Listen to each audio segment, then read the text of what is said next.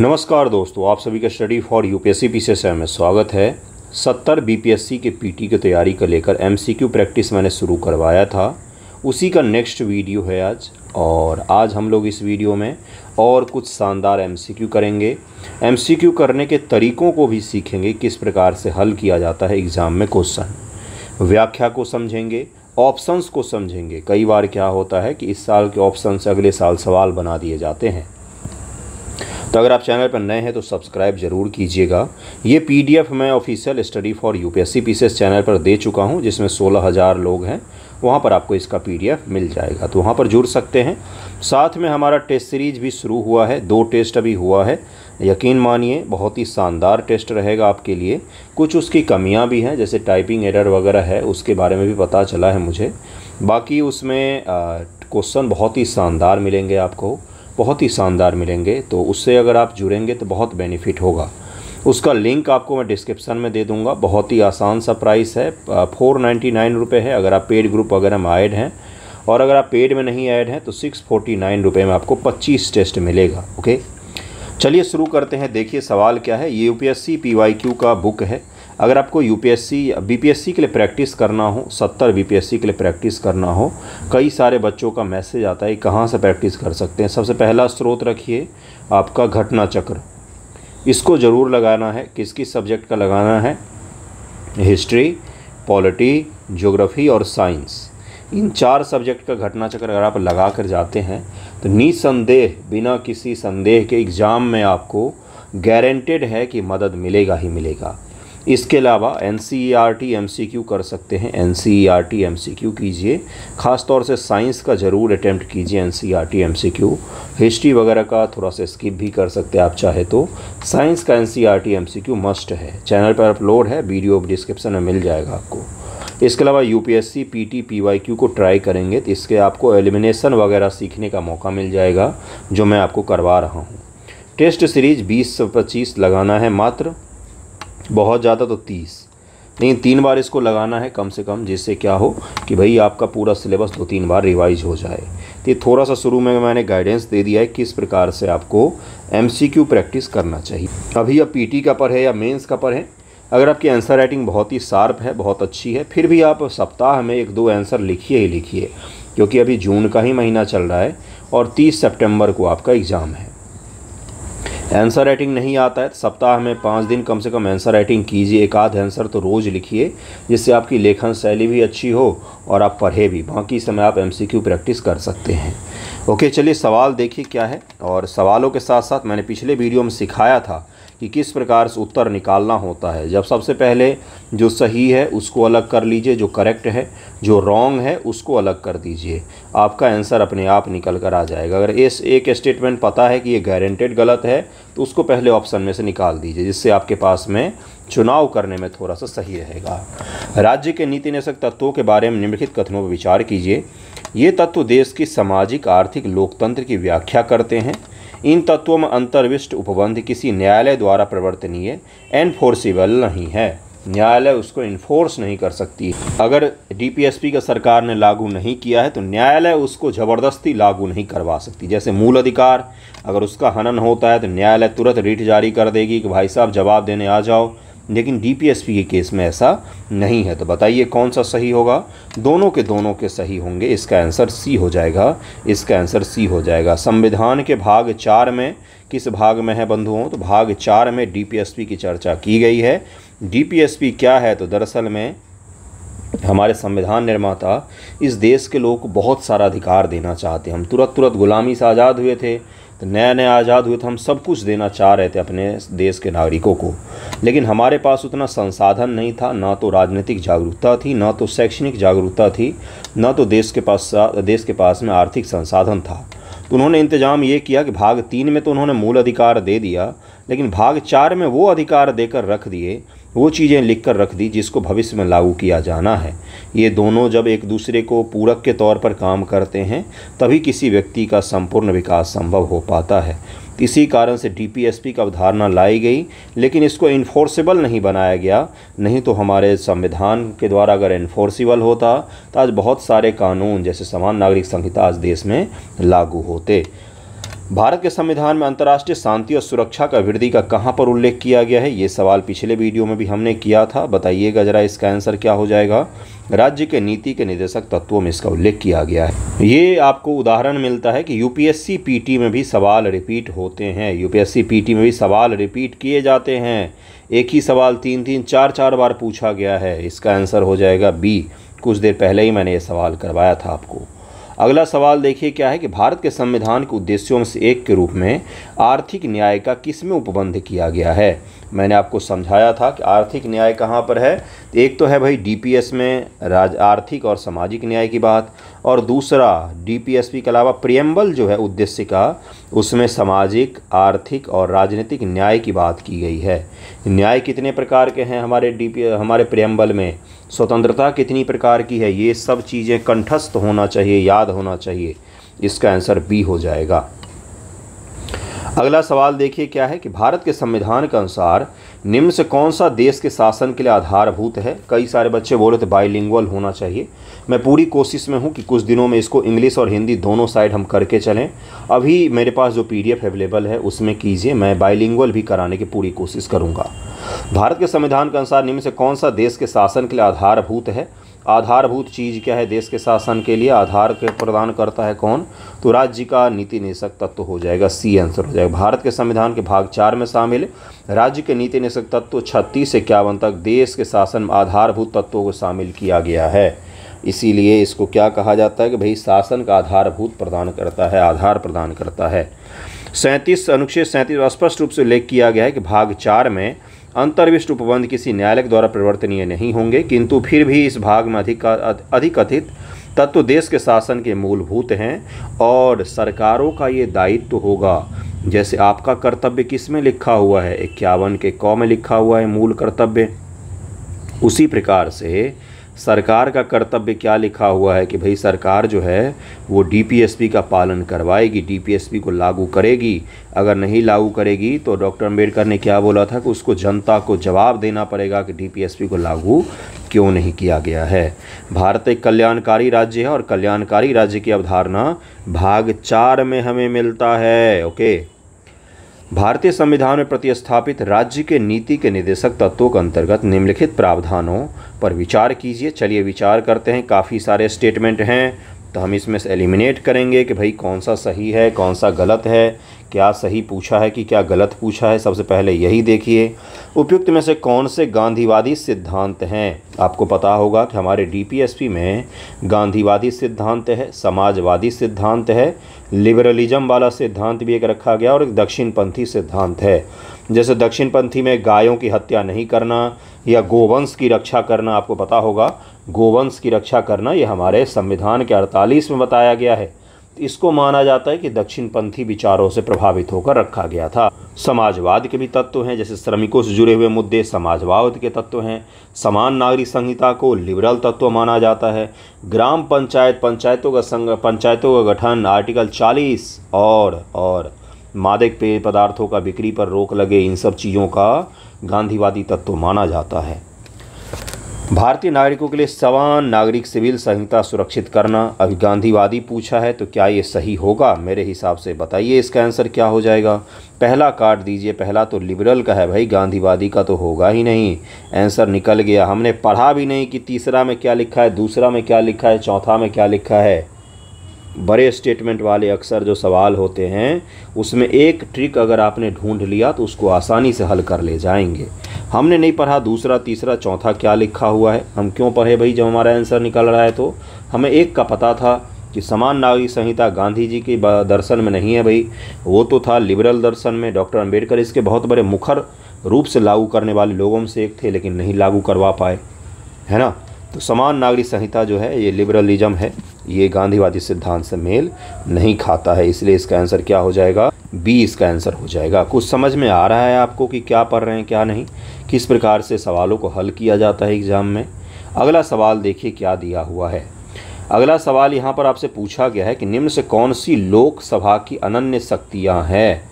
लोकसभा की अनन्य शक्ति है, अनन्य शक्ति है उसकी। आपात की उद्घोषणा का अनुसमर्थन करना। क्या आपातकाल की घोषणा का समर्थन केवल लोकसभा में किया जाता है? मंत्रिपरिषद के विरुद्ध अविश्वास प्रस्ताव पारित करना। अविश्वास प्रस्ताव तो केवल और केवल लोकसभा में ही पारित होता है। तो ये तो सही होगा गुरु। इन दोनों को तो हमने काट दिया। दूसरा तो गारंटेड सही है। दूसरा गारंटेड सही है। अब तीसरा सही है कि नहीं? अगर हमने ये देख लिया, पहला देख लिया सही तो फिर क्या हो जाएगा? हमें ये पता चल जाएगा कि इसका आंसर क्या होगा। और अगर हमने दो ऑप्शन काटा है, यानी कि तीसरा तो गारंटेड गलत था इसमें। इसीलिए वो सारे ऑप्शन कट गए जिसमें तीन तीन था दिया हुआ। आपात की उद्घोषणा का अनुसमर्थन केवल क्या राज्यसभा में या लोकसभा में ही किया जाता है? नहीं, ऐसा नहीं होता है। आपको पता होगा कि 122 122 होता है। लोकसभा से एक महीने के भीतर, राज्यसभा से दो महीने के भीतर, इसी प्रकार से होता है शायद कि उसको अनुसमर्थन मिलना आवश्यक होता है। तो यानी कि लोकसभा और राज्यसभा दोनों से उसको अनुसमर्थन करना होता है। तो इसका आंसर क्या हो जाएगा? बी इसका आंसर हो जाएगा, पहला गलत दिया हुआ है। ये ट्रिक के लिए 122 बताया है मैंने। आर्टिकल नहीं है वो, देखिए क्या है। मंत्रिपरिषद के विरुद्ध अविश्वास प्रस्ताव केवल लोकसभा में लाया जा सकता है। जब लोकसभा मंत्रिपरिषद के विरुद्ध एक अविश्वास प्रस्ताव पारित करती है नो कॉन्फिडेंस मोशन इसको कहा जाता है इंग्लिश में तो सभी मंत्री जिसमें राज्यसभा के मंत्री भी शामिल है, को त्यागपत्र देना पड़ता था, कथन दो सही है। देखिए, अगर लोकसभा में अविश्वास प्रस्ताव पास हो गया, यानी कि सरकार गिर जाएगी, और सरकार गिरेगी तो सभी मंत्री इस्तीफा दे देंगे। आपात की उद्घोषणा का संकल्प संसद के प्रत्येक सदन की कुल सदस्य संख्या के बहुमत तथा उपस्थित या मतदान करने वाले संख्या के दो बट्टा तीन बहुमत से पारित करना होता है। जो विशेष बहुमत होता है, उससे इसको पारित करवाना पड़ता है दोनों सदन से। राष्ट्रीय आपातकाल की घोषणा को संसद के प्रत्येक सदन के समक्ष रखा जाता है। एक महीने के अंदर अनुमोदन न मिलने पर यह प्रवर्तन में नहीं रहती, किंतु एक बार अनुमोदन मिलने पर छः माह के लिए प्रवर्तन में बनी रहती है ये। इसको ज़रा ध्यान रखिएगा, एक महीने के अंदर इसको संसद के दोनों सदनों से पारित करवाना अनिवार्य होता है, अनिवार्य होता है, इसको ज़रूर ध्यान रखिएगा। परिणामतः आपात की उद्घोषणा का अनुसमर्थन लोकसभा तथा राज्यसभा दोनों द्वारा किया जाता है। यह लोकसभा की अनन्य शक्ति नहीं है। अनन्य शक्ति का क्या तात्पर्य होता है? अनन्य शक्ति का तात्पर्य होता है कि जिसके मामले में लोकसभा का जो बोलवाला हो, उसके अलावा वो काम कोई ना कर सके। जिस प्रकार से कौन सा है तो एक मात्र चीज़ है वो कौन सा है? एक है आपका अविश्वास प्रस्ताव और एक मनी बिल, आर्टिकल 110 के तहत जो शक्तियाँ होती हैं, इसमें भी लोकसभा को ज़्यादा शक्ति मिला हुआ है, ओके? राष्ट्रपति पर महाभियोग दोनों सदन में शुरू किया जा सकता है। अगला है, भारत में दल बदल संबंधी जो कानून है, उसके बारे में आपको बताना है। यह कानून विनिर्दिष्ट करता है कि कोई नाम निर्दिष्ट विधान, विधायक, सदन में नियुक्त होने के छः माह के अंदर किसी राजनीतिक दल में शामिल नहीं हो सकता। अगर किसी को नॉमिनेट किया गया है, किसी सदन के सदस्य को नॉमिनेट किया गया है तो छः महीने के अंदर किसी दूसरे राजनीतिक दल में नहीं जा सकता है। छः महीने के बाद जा सकता है। क्या ये स्टेटमेंट सही है? यह कानून कोई समयावधि नहीं देता, जिसके अंदर पीठासीन अधिकारी को दल बदल मामला विनिश्चित करना होता है। दल बदल से जुड़ी हुई चीज़ों पर जो अधिकार है डिसीज़न लेने का, वो किसके पास में है? तो पीठासीन अधिकारी, राज्यसभा में है तो राज्यसभा के चीफ और लोकसभा में है तो स्पीकर महोदय। ये लेकिन समय बाउंडेशन नहीं लगाता है क्या कि स्पीकर को कितने दिन में फैसला लेना है?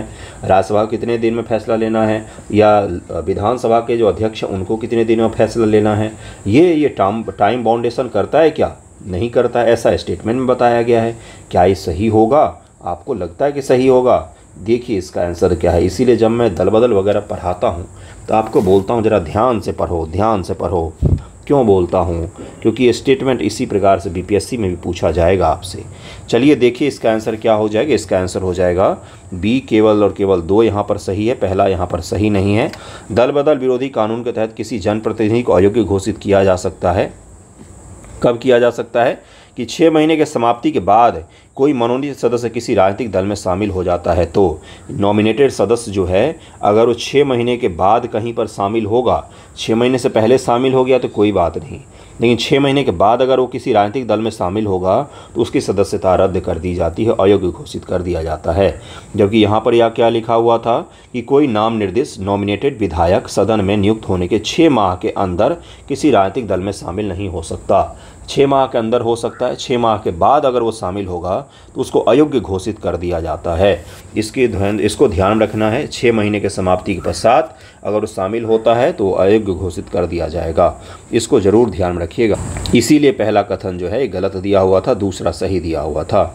लोकसभा के उपाध्यक्ष के बारे में आपको देखना है कि कौन सा स्टेटमेंट इसमें से सही है। चार चार स्टेटमेंट दिए गए हैं। लोकसभा के उपाध्यक्ष लोकसभा के कार्य पद्धति और कार्य संचालन नियमों के अनुसार उपाध्यक्ष का निर्वाचन उस तारीख को होगा जो अध्यक्ष नियत करे। उपाध्यक्ष उसी दिन चुना जाएगा, जिस दिन जो अध्यक्ष चाहेंगे उसी तारीख को। यह अज्ञापक उपबंध है कि लोकसभा के उपाध्यक्ष के रूप में किसी प्रतियोगी का निर्वाचन या तो मुख्य विपक्षी दल से या शासक दल से होगा। यह उपबंध किया गया है क्या भारत में कि लोकसभा के उपाध्यक्ष का निर्वाचन मुख्य विपक्षी दल से या शासक दल से होगा? सदन की बैठक की अध्यक्षता करते समय उपाध्यक्ष की शक्ति वैसी ही होती है, जैसे कि अध्यक्ष की और उसके विनिर्णयों के विरुद्ध अपील नहीं हो सकती। इसके जो निर्णय है, उसके विरुद्ध अपील नहीं हो सकती। दोनों की शक्ति समान होती है क्या? उपाध्यक्ष की नियुक्ति के बारे में सुस्थापित संसदीय पद्धति यह है कि प्रस्ताव अध्यक्ष द्वारा रखा जाता है और प्रधानमंत्री द्वारा विधिवत समर्थित होता है। उसी का आधार पर भारत में उपाध्यक्ष की नियुक्ति होती है। कितना डिटेल में सवाल पूछा गया ये? अगर बीपीएससी में पूछ लिया तो फिर तो भाई काम तमाम। न इधर के रहे, ना उधर के रहे। बताइए इसका आंसर क्या होगा? पढ़िए, इसमें से ट्रिक को ज़रा ढूंढिए। ट्रिक को ढूंढ कर ऑप्शन निकालेंगे तो आसान रहेगा। देखिए यहाँ पर क्या लिखा हुआ है। दूसरा स्टेटमेंट ज़रा ध्यान से पढ़िएगा। यहाँ पर लिखा गया, यह अज्ञापक उपबंध है। कि लोकसभा के उपाध्यक्ष के रूप में किसी प्रतियोगी का निर्वाचन या तो मुख्य विपक्षी दल से होगा या शासक दल से होगा, इस प्रकार से नहीं है। दसवीं लोकसभा तक ये था कि भाई दोनों एक ही दल से होते थे। उसके पश्चात से एक सामान्य रूप में प्रक्रिया बन गई है कि लोकसभा के उपाध्यक्ष जो होते हैं, वो विपक्षी दल से होते हैं। सामान्य प्रक्रिया बन गई। कोई इस प्रकार का उपबंध नहीं किया गया है। तो उपबंध नामक चीज़ है तो पहले ही इसको काट देंगे। ध्यान से पढ़ेंगे तो आपको पता चल जाएगा। तो दूसरा काटिए इसका। दूसरा काटिए, दूसरा जिस जिसमें है उसको काट दिया। अब पढ़िए यहाँ पर क्या क्या लिखा हुआ है भाई। चौथा, उपाध्यक्ष की नियुक्ति के बारे में सुस्थापित संसदीय पद्धति यह है कि प्रस्ताव अध्यक्ष द्वारा रखा जाता है और प्रधानमंत्री द्वारा विधिवत समर्थित होता है। इसके बारे में पढ़ते हैं कि इसका आंसर क्या होगा, क्या है भाई इसका एक्सप्लेनेशन वैसे इसका आंसर एक और तीन दिया है। चौथा क्यों गलत दिया हुआ है? उपाध्यक्ष का चुनाव लोकसभा द्वारा ही अपने सदस्यों से किया जाता है। स्पीकर के चुनाव के बाद डिप्टी स्पीकर का भी चुनाव होता है। इसलिए इस प्रकार का कोई, ये प्रधानमंत्री के पद होगा, लोकसभा का अध्यक्ष प्रस्ताव रखेंगे, इस तरह की चीज़ें नहीं होती है। लोकसभा के मेंबर्स जो हैं, वो आपस में वोटिंग करके उपाध्यक्ष और अध्यक्ष का चुनाव करते हैं। अभी कुछ दिनों के पश्चात ही लोकसभा अध्यक्ष का फिर से चुनाव होगा। तो इस प्रकार का कोई भी भारतीय परंपरा नहीं है, इसलिए चार भी असत्य होगा, पहला और तीसरा इसका सही सही स्टेटमेंट हो जाएगा। आपको मैं एक चीज़ और बोलूँगा जब भी आपको इस तरह के सवालों में कन्फ्यूज़न हो तो अगर आपको चौथा नहीं पता है तो पहले को पढ़ लीजिए बार बार कि क्या है भाई, क्या है, उसके पश्चात आपको समझ में आ जाएगा। नहीं तो अगर इस तरह के स्टेटमेंट में फंसते हैं तो कृपया करके तुक्का ना मारा करें, आगे बढ़ जाया करें, वो ज़्यादा सही रहता है। भारत में ऐसा कोई कानून नहीं है जो प्रत्याशियों को किसी एक लोकसभा चुनाव में तीन निर्वाचन क्षेत्रों से लड़ने से रोकता है। क्या ऐसा कोई भारत में कानून है कि एक मान लीजिए मोदी जी हैं, मोदी जी बनारस से भी खड़े हो जाएँ, मोदी जी दरभंगा से भी खड़े हो जाएँ, मेरे शहर से तीसरा कौन सा हो गया भाई? कन्याकुमारी से भी खड़े हो जाएँ। क्या ऐसा कोई भारत में चुनाव है, कानून है कि रोक दें इनको? भारत में ऐसा कोई कानून नहीं है जो प्रत्याशियों किसी एक लोकसभा चुनाव में तीन निर्वाचन क्षेत्रों से लड़ने से रोकता है। उन्नीस सौ इक्यानवे लोकसभा चुनाव में श्री देवी लाल ने तीन लोकसभा निर्वाचन क्षेत्रों से चुनाव लड़ा था। क्या ये आपको याद हो सकता है? आपको लगता है आपको याद होगा? वर्तमान नियमों के अनुसार यदि कोई प्रत्याशी किसी एक लोकसभा चुनाव में कई निर्वाचन क्षेत्रों से चुनाव लड़ता है तो उसकी पार्टी को उन निर्वाचन क्षेत्रों के उपचुनावों का खर्च उठाना चाहिए। जिसे उन्होंने खाली किया है बसरते वह सभी निर्वाचन क्षेत्रों से विजयी हुआ हो। आपको लगता है इस तरह का कुछ होता है? उपचुनाव का खर्चा पार्टी उठाती है क्या? बताइएगा ज़रा सोच कर इसका आंसर क्या होगा। ऑप्शन देख लीजिए।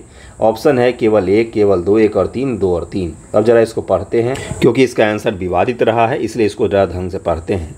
लोक प्रतिनिधित्व अधिनियम उन्नीस सौ इक्यावन की धारा तैंतीस सात के प्रावधानों के अनुसार कोई व्यक्ति दो से अधिक लोकसभा क्षेत्रों में प्रत्याशी नहीं बन सकता है। इसीलिए आपने देखा होगा कि मोदी जी सबसे पहली बार वडनगर से भी खड़े हुए थे और बनारस से भी खड़े हुए थे।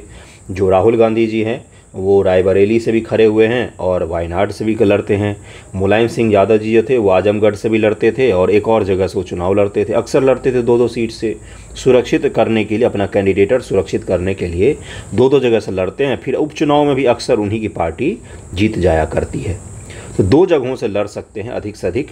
उन्नीस सौ इक्यावन की धारा तैंतीस सात के प्रावधानों के अनुसार। अतः कथन वन सही नहीं है। निर्वाचन आयोग की वेबसाइट पर उपलब्ध चुनाव परिणाम डेटा के अनुसार देवीलाल उन्नीस सौ इक्यानवे के चुनाव में केवल हरियाणा के रोहतक लोकसभा क्षेत्र से चुनाव लड़े थे। हालाँकि 1989 में वे तीन सीटों रोहतक, सीकर और फिरोजपुर से चुनाव लड़े थे। अतः कथन दो भी सही नहीं है।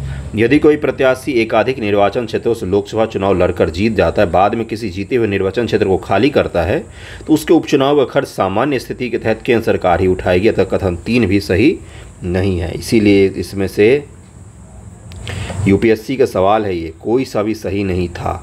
यहाँ पर ऑप्शन ही नहीं दिया गया था। यूपीएससी ने इस सवाल को हटा दिया था। धातव्य है कि लोक सेवा आयोग ने इस प्रश्न को मूल्यांकन से बाहर कर दिया था। इसको ज़रा ध्यान में रखिएगा इस सवाल को। इस तरह के छोटे मोटे फैक्ट आपसे सही ऑप्शन देकर पूछ लिया जा सकता है। संसदीय व्यवस्था वाली सरकार वह होती है। संसदीय व्यवस्था वाली सरकार कौन सी सरकार कहलाती है? बहुत ही आसान, बहुत ही टिपिकल सा सवाल। ज़रा सॉल्व कीजिए, दिमाग लगाइए, पढ़िए। देखिए, मैं आपको एक चीज़ बताता हूँ। एम जब मैं स्टेटमेंट पढ़ रहा हूँ, तब उसका इम्पैक्ट अलग पड़ेगा। जब आप पढ़ रहे होंगे तो उसका इम्पैक्ट अलग पड़ेगा। इसलिए खुद से भी पढ़ा कीजिए वीडियो रोक कर आंसर निकाला कीजिए। उसके पश्चात तो मैं एक्सप्लेन करूँगा ही। समय ही तो लगेगा ना तो दीजिए ना समय। समय बचा के करना क्या है? संसद के सभी राजनीतिक दलों का सरकारों प्रतिनिधित्व होता है। संसद के सभी राजनीतिक दलों का सरकार प्रतिनिधित्व होता है। समाजवादी पार्टी अभी जीती है, वो भारतीय जनता पार्टी की सरकार बन रही है तो क्या उसका भी प्रतिनिधित्व होगा सरकार में? सरकार संसद के प्रति उत्तरदायी होती है और उसके द्वारा हटाई जा सकती है।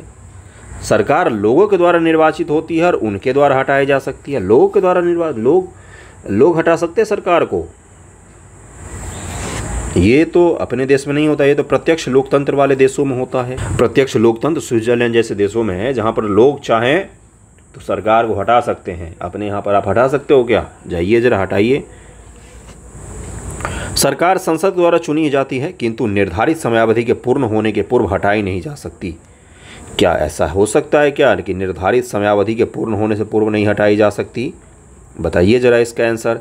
चारों में से कितने, कितनों को ऐसा है जिसको आप देखते ही काट सकते हैं? ज़रा देखिए कौन कौन से स्टेटमेंट है जिसको देख कर ये तो काट ही सकते हैं। संसद के सभी राजनीतिक दल, सभी सभी, इसके अलावा क्या होता है? केवल ये सब शब्द अगर लगा हुआ है ना स्टेटमेंट तो अक्सर वो गलत होता है, ये भी काट दीजिए। सरकार संसद के प्रति उत्तरदायी होती है, उसके द्वारा हटाई जा सकती है, ये तो थोड़ा मोड़ा सही लग रहा है। सरकार संसद द्वारा चुनी जाती किंतु निर्धारित समय के पूर्ण होने से पूर्व हटाई नहीं जा सकती। अटल बिहारी वाजपेयी जी की तीन बार गवर्नमेंट गिरी थी। ऐसा कैसे हो गया? समय पूर्व भी हटा सकते हैं। तो डी भी इसका गलत हो गया। इसका आंसर क्या हो जाएगा? केवल और केवल बी सही है यहाँ पर। अगर आप गलत को भी सेलेक्ट कर लेंगे तो भी आपका आंसर सही हो जाएगा। और सरकार किसके द्वारा हटाई जाती है? तो नो कॉन्फिडेंस मोशन के द्वारा। भारत के संविधान के अनुसार कोई भी ऐसा व्यक्ति जो मतदान के लिए योग्य है, कोई भी ऐसा व्यक्ति भारत के संविधान के अनुसार किसी राज्य में छः माह के लिए मंत्री बनाया जा सकता है। तब भी, जबकि वह उस राज्य के विधानमंडल का सदस्य नहीं है। कोई भी व्यक्ति अगर मतदान के लिए योग्य है तो मंत्री बनाया जा सकता है क्या वो? पढ़िए फिर से, सोचिए। लोक प्रतिनिधित्व अधिनियम उन्नीस सौ इक्यावन के अनुसार कोई भी ऐसा व्यक्ति, जो दांडिक अपराध के अंतर्गत दोषी पाया गया है, जिसे पाँच वर्ष के लिए कारावास का दंड दिया गया है चुनाव लड़ने के लिए अस्थायी तौर पर निर्भर हो जाता है मतलब कि अवैध हो जाता है, वो कभी चुनाव नहीं लड़ सकता है, वो कभी चुनाव नहीं लड़ सकता है, उसके ख़त्म हो गया, उसका कैंडिडेटर हो सकता है। भले ही वह कारावास से मुक्त हो चुका हो, अगर पाँच वर्ष के लिए कारावास का दंड दिया गया है तो उसके पश्चात वो चुनाव लड़ने के लिए अस्थायी तौर पर हट जाता है क्या? बताइए मुझे ज़रा इसका आंसर क्या होगा। पहली बात तो पहला स्टेटमेंट अगर फिर से पढ़ेंगे, कोई भी ऐसा व्यक्ति जो मतदान के लिए योग्य है, मतदान के लिए तो 18 वर्ष के बाद ही योग्य हो गया, लेकिन मंत्री बनने के लिए तो उसको 25 वर्ष से ज़्यादा का आयु चाहिए भाई। तो पहला तो गलत ही हो गया, पहला तो गलत हो गया, पहला गलत हो गया, पहला काट दीजिए, पहला काट दीजिए। ऐसा नहीं होता है, अगर वो जेल से छूटा है तो छः वर्षों के लिए उस पर बैन लगता है।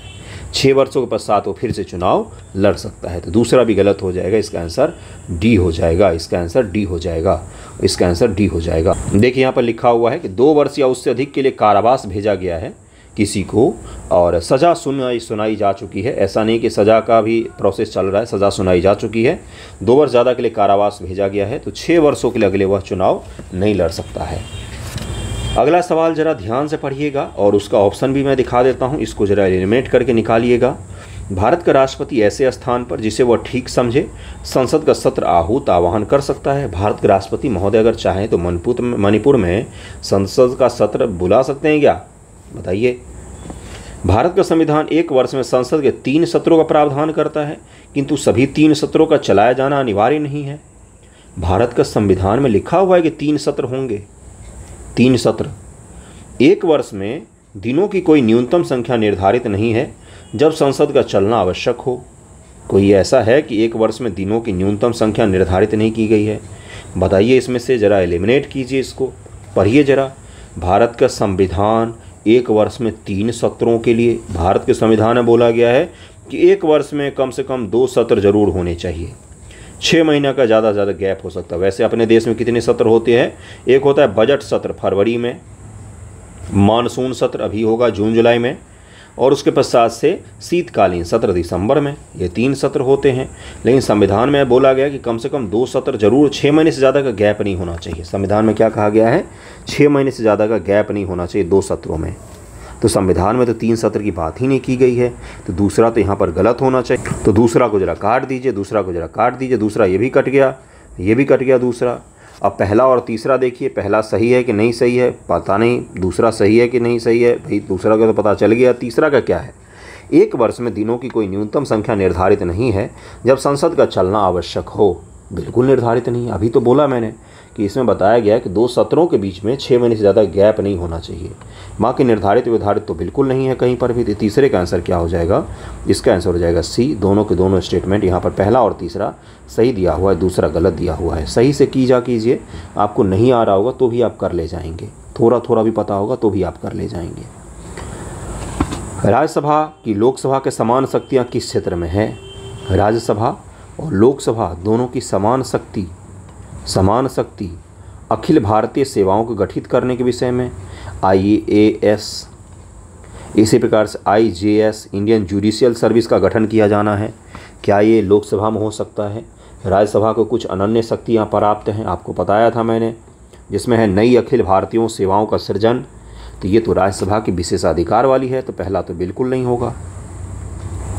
संविधान संशोधन में क्या दोनों की शक्तियाँ बराबर है? संविधान संशोधन में क्या दोनों की शक्तियाँ बराबर है? संविधान संशोधन में बिल्कुल है बराबर। संविधान संशोधन किसी भी सदन में शुरू किया जा सकता है और उसमें दोनों की शक्तियाँ बिल्कुल समान होती है, दोनों की शक्तियाँ बिल्कुल समान होती है। सरकार को हटाने के विषय में राज्यसभा की शक्ति नहीं है, क्योंकि low confidence no confidence motion अविश्वास प्रस्ताव केवल लोकसभा में लाया जा सकता है। कौटियती प्रस्ताव प्रस्तुत करने के विषय में भी राज्यसभा की शक्तियाँ नहीं हैं। ये सब की शक्तियाँ जो हैं, ये लोकसभा के पास में है। तो इसका आंसर बी हो जाएगा, संविधान संशोधन। वित्त मंत्री संसद बजट प्रस्तुत करते हुए उसके साथ में मैंने कुछ दिन पहले न्यूज़पेपर डिस्कशन में जब हम एफ़ आर बी एम में पढ़ा रहा था तो मैंने इसको डिस्कस किया था कि गुरु, ये सवाल पूछा जा चुका है यूपीएससी पीटी में। वित्त मंत्री संसद बजट प्रस्तुत करते हुए उसके साथ अन्य प्रालेख भी प्रस्तुत करते हैं, जिनमें बृहद आर्थिक रूपरेखा का विवरण, the macro economics framework statement भी सम्मिलित रहता है। यह पूर्वोक्त प्रलेख निम्न आदेशन के कारण प्रस्तुत किया जाता है। ये जो है, ये बृहद रूप से the macro economics framework statement जो प्रस्तुत किया जाता है, ये क्यों प्रस्तुत किया जाता है बजट के साथ में? बताइए मुझे। मैंने पढ़ाया था एफ़ आर बी एम तो मैंने बताया था कि भाई एफ़ आर बी एम पर पी टी में सवाल बहुत ही बेसिक सा पूछा गया था। इसका आंसर क्या हो जाएगा? पाँच का आंसर क्या हो जाएगा? इसका आंसर हो जाएगा F R B M act 2003 के तहत में बजट मैनेजमेंट की बात की गई है। राजकोषीय उत्तरदायित्व और बजट प्रबंधन, बजट मैनेजमेंट की बात की गई है। इसी कारण से माइक्रो इकोनॉमिक्स फ्रेमवर्क स्टेटमेंट काफ़ी सारे वित्त मंत्री महोदय को प्रस्तुत करना होता है बजट के साथ में। इसीलिए बजट लेंदी हो जाता है एफआरबीएम एक्ट के कारण से। तो ये सवाल यूपीएससी का है, बहुत ही शानदार सा सवाल। एफआरबीएम के अंत में लगा हुआ है budget management, financial responsibility and budget management act. तो इसी बजट मैनेजमेंट सबसे यूपीएससी ने सवाल फ्रेम कर दिया। बेसिक चीज़ों को आप पढ़ते नहीं हैं हवा हवाई चीज़ों को पढ़ते रहते हैं। कठिन सवाल ज़रूरी नहीं कि एग्ज़ाम में पूछे जाते हैं। कठिन उसको आसान सवाल को बनाया जा सकता है। अगर वो बेसिक से पूछ लिया जहाँ पर आपका ध्यान नहीं गया है तो। है ना? भारत के किसी राज्य की विधानसभा के संदर्भ में आपको बताना है। वर्ष के प्रथम सत्र के प्रारंभ में राज्यपाल सदन के सदस्यों के लिए रूढ़िगत संबोधन करता है। जो पारंपरिक संबोधन है, वो राज्यपाल करता है। जब किसी विशिष्ट विषय पर राज्य विधानमंडल के पास कोई नियम नहीं होता तो उस विषय पर वह लोकसभा के नियम का पालन करता है। इसका आंसर क्या हो जाएगा बंधुओं? इसका आंसर हो जाएगा सी। एक और दो दोनों के दोनों सही दिए हुए हैं। ओके?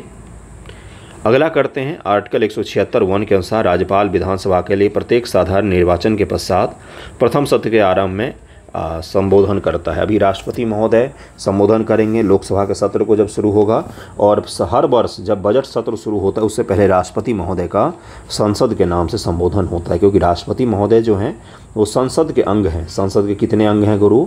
इसके तीन अंग हैं। एक है लोकसभा, एक है राज्यसभा और एक है प्रेसिडेंट ऑफ़ इंडिया। इन तीनों चरणों से जब कोई नियम या कानून गुजरता है, तब जाके वो अधिनियम बन पाता है। कोई बिल तीनों चरणों से गुजरेगा। अगर लोकसभा में शुरू हुआ तो राज्यसभा में जाएगा। अगर राज्यसभा में शुरू हुआ तो लोकसभा में जाएगा। उसके पश्चात प्रेसिडेंट ऑफ़ इंडिया के पास में चला जाता है। ओके? ये सब बेसिक कॉन्सेप्ट हैं। ये आपको क्लियर होने चाहिए। एग्ज़ाम में जाने से पहले एग्ज़ाम में कन्फ्यूज़न हो सकता है। संसद निर्भरता निवारण अधिनियम 1959 कई पदों को लाभ का पद के आधार पर निर्भरता से छूट प्रदान करता है। लाभ का पद के आधार पर उपर्युक्त अधिनियम पाँच बार संशोधित किया गया है। लाभ का पद वाला पाँच बार संशोधित किया गया है। शब्द लाभ का पद भारत के संविधान में भली भांति परिभाषित किया गया है। केजरीवाल गवर्नमेंट में से करीब में 20 मंत्रियों को 20 सदस्यों को भारत के में क्या किया गया था? राष्ट्रपति महोदय के द्वारा। उनके कैंडिडेटर को रद्द कर दिया गया था लाभ के पद के आधार पर। लाभ का पद होता है कि आप मंत्री भी हैं आप मंत्री भी हैं और उसी के साथ साथ आपने कोई और एक पद धारण किया हुआ है। रुक जाए पेन नहीं चल रहा। कोई और एक पद धारण किया हुआ है तो उसको लाभ का पद कहा जाता है। तो लाभ के पद में केजरीवाल गवर्नमेंट में कई सारे मंत्री महोदय फंस गए थे। उसके पश्चात से राष्ट्रपति महोदय ने क्या किया था? इलेक्शन कमीशन ऑफ़ इंडिया के रिकमेंडेशन के आधार पर 2018-19 के आसपास उन सभी को रद्द कर दिया था। तो उसी के पश्चात यूपीएससी ने सवाल को पूछा था। लाभ का पद की चर्चा, संविधान के आर्टिकल 104 है 105 में किया गया, अभी मैं दिखा दूँगा। लेकिन लाभ के पद को संविधान में कहीं पर भी परिभाषित नहीं किया गया है ओके? तो अगर आपको इस स्टेटमेंट में आ, ये भी आपको मैंने सिखाया था कुछ दिन पहले ही कि संविधान में डिटेल में परिभाषित नहीं किया गया है चीज़ों को। मैंने बताया था ये कॉन्सेप्ट है छोटा सा। आप क्वेश्चन को एलिमिनेट कर सकते हैं इस आधार पर कि मैंने क्या बताया था कि संविधान में किसी भी चीज़ को डिटेल में परिभाषित नहीं किया गया है। देखिए यहाँ पर क्या लिखा हुआ है लाभ का पद भारत के संविधान में भली भांति परिभाषित किया गया है। ऐसा तो कतई नहीं है। तो हमें नहीं पता पहला दूसरा क्या है, गुरु। तीसरा स्टेटमेंट काट दीजिए। इसका आंसर निकल कर आ जाएगा एक और दो। जब भी इस तरह के सवाल बनाए जाते पी पीसीएस हो या यूपीएससी हो तो वहाँ पर एक स्टेटमेंट इस प्रकार का डाला जाता है कि जिसको आप काट कर बाकी दो को आसानी से निकाल लें। एक हमने स्टेटमेंट काटा, वो भी तुक्का लगा के कभी काट सकते हैं कि भाई संविधान परिभाषित तो बहुत सारी चीज़ों को नहीं किया गया है, और एक्चुअली हम पूछे थे किसी भी चीज़ को डिटेल परिभाषित नहीं किया गया है। उसके आधार पर एक एक स्टेटमेंट काटा हमने और निकल कर आ गया। सामान्य तौर पर मैं बार बार यूज़ कर रहा हूँ जनरली संविधान में किसी चीज़ को डिटेल परिभाषित नहीं किया गया है। इसका आंसर क्या हो जाएगा? इसका आंसर हो जाएगा कथन वन सही है, क्योंकि आर्टिकल 102 एक और आर्टिकल एक सौ इक्यानवे में इसमें है कि राज्यों के लिए और 102 में है संसद के लिए क्या है? लाभ का पद शब्द की चर्चा की गई है और उसके आधार पर निर्भरता को तय किया गया है। लेकिन उसको परिभाषित नहीं किया गया है। धन विधेयक के संबंध बताना है। किसी बिल को धन विधेयक कौन सा सही नहीं है ये बताना है। ध्यान से देख लिया कीजिए। सही नहीं पूछा गया है।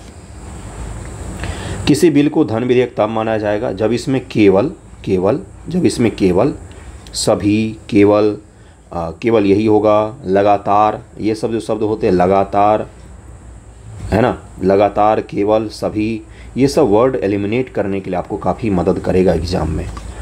केवल किसी कर के अधिरोपण, उन्मूलन, माफ़ी, परिवर्तन या विनिमय से संबंधित प्रावधान हो सकते हैं। मनी बिल में, मनी बिल 110 में केवल कर से जुड़े हुए प्रावधान हो सकते हैं। धन विधेयक में भारत की संचित निधि एवं भारत की आकस्मिक निधि की अभिरक्षा से संबंधित उपबंध होते हैं। भारत की संचित निधि और भारत की आकस्मिक निधि दोनों से संबंधित प्रावधान होता है क्या? धन विधेयक में आर्टिकल 110 में। जरा इसका आंसर देखते हैं, ऑप्शन देखते हैं, आंसर देखते हैं भाई क्या है। अगला स्टेटमेंट है, अगला स्टेटमेंट है, धन विधेयक भारत की आकस्मिक निधि से धन के नियोजन से संबंधित होता है। धन विधेयक भारत सरकार द्वारा धन के उधार लेने या कई प्रत्याभूति देने के विनिमय से संबंधित होता है।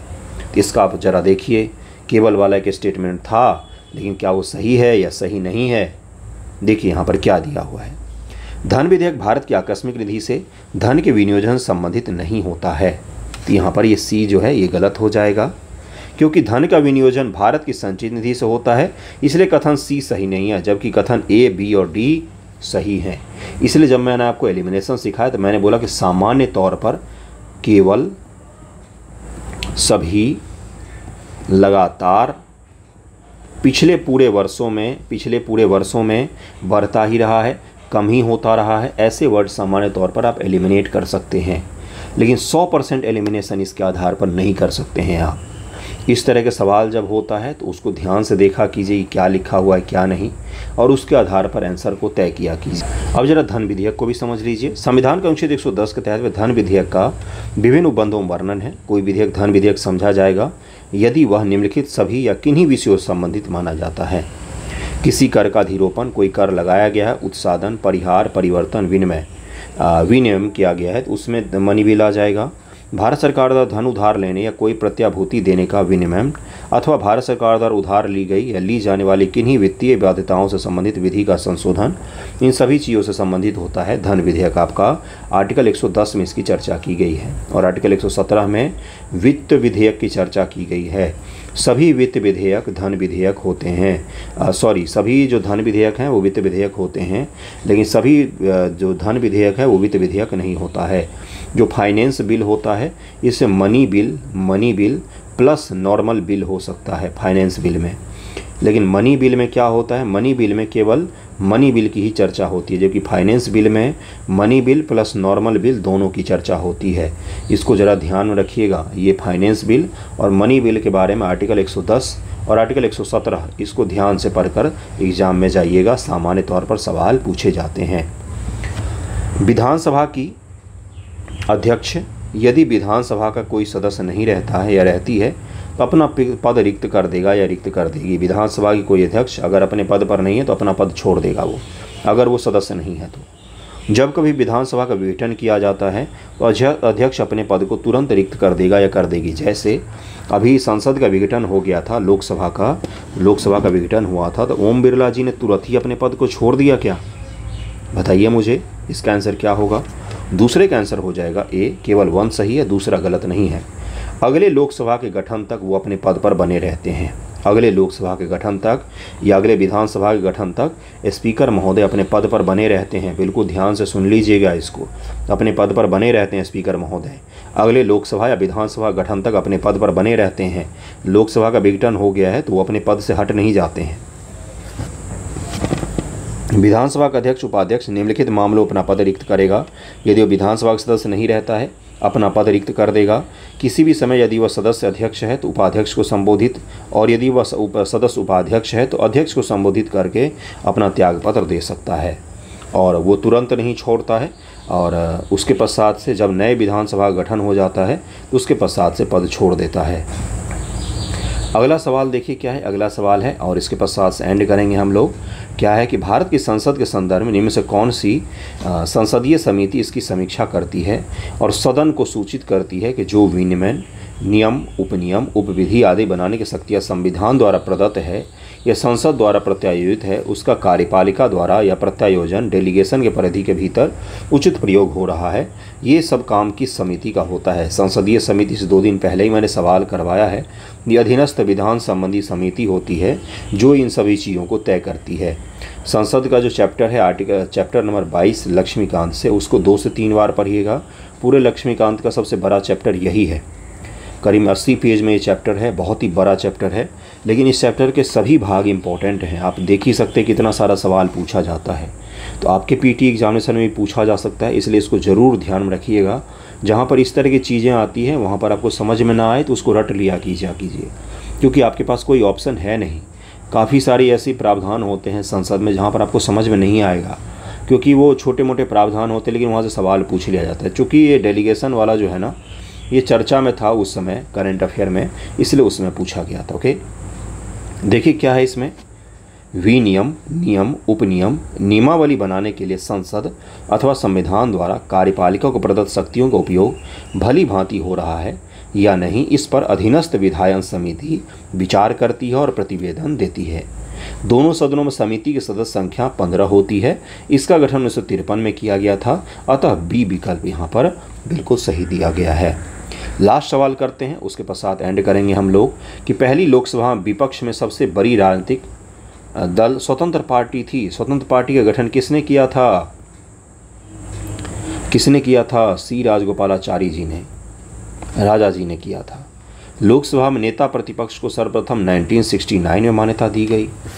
आपने अगर भारत का इतिहास पढ़ा है, आज़ादी के बाद वाला जो ट्वेल्थ की पॉलिटी में है तो वहाँ पर आपने पढ़ा होगा कि कम्युनिस्ट थे भारत में पहले विपक्षी दल। कम्युनिस्टों को थोड़ी बहुत सीट मिली थी, बाकी सभी सीटों पर नेहरू जी विजय हुए थे। तो बताइए कौन सा होगा, पहला सही है क्या? लोकसभा में यदि किसी दल के न्यूनतम पचहत्तर सदस्य न हो तो उसके नेता को नेता प्रतिपक्ष के रूप में मान्यता नहीं मिलती है। नहीं भाई, पचहत्तर नहीं है तो दस परसेंट का नियम है। तो तीसरा भी गलत होना चाहिए। इसका आंसर क्या हो जाएगा बंधुओं? तीसरा भी गलत है और पहला भी गलत है क्योंकि कॉम्युनिस्ट थे। वैसे भी अगर आप तीसरा भी काट देते तो भी आंसर निकल आता तो भी आंसर निकल आता कि दूसरा सही होगा, क्योंकि 10 परसेंट कम से कम चाहिए, तभी जाके आप नेता विपक्ष में शामिल हो सकते हैं। देखिए, यहाँ पर लिखा हुआ, कम्युनिस्ट पार्टी ऑफ़ इंडिया था, पहली बार, पहली विपक्ष की party communist party of India था, और 10 परसेंट अथवा 55 सीटें होनी चाहिए, तभी आप क्या हो सकते हैं तो तभी आप विपक्ष की पार्टी का दर्जा आपको मिल सकता है। 55 सीटें या 10 परसेंट आपके पास में कम से कम होना चाहिए, ओके? तो इसको ध्यान रखिएगा, आज का वीडियो यहीं पर एंड करते हैं। कैसा लगा है ज़रूर बताइएगा। इसको कंटिन्यू मैं तभी करूँगा जब आप सभी लोग पसंद करें, इसको अच्छे तरीके से। बहुत बेनिफिट होगा आपको। देखिए, इन सवालों को एक बार खुद से भी कीजिएगा। मेरी बात थोड़ा सा फॉलो कर लीजिए, मुझे भी अच्छा लगेगा कि आप कुछ कर रहे हैं। मैं जब पढ़ता हूँ तो सवाल आपको सुनाई देता है और स्पष्ट मैं पढ़ता हूँ रुक रुक कर पढ़ता हूँ तो आपको समझ में आ जाता है।